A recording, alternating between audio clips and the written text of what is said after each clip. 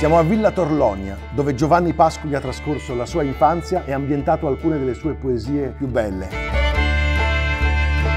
Facciamo assoli a due voci, non dispute, ma intrecci a due di un unico discorso fra persone legate da affetto, da stima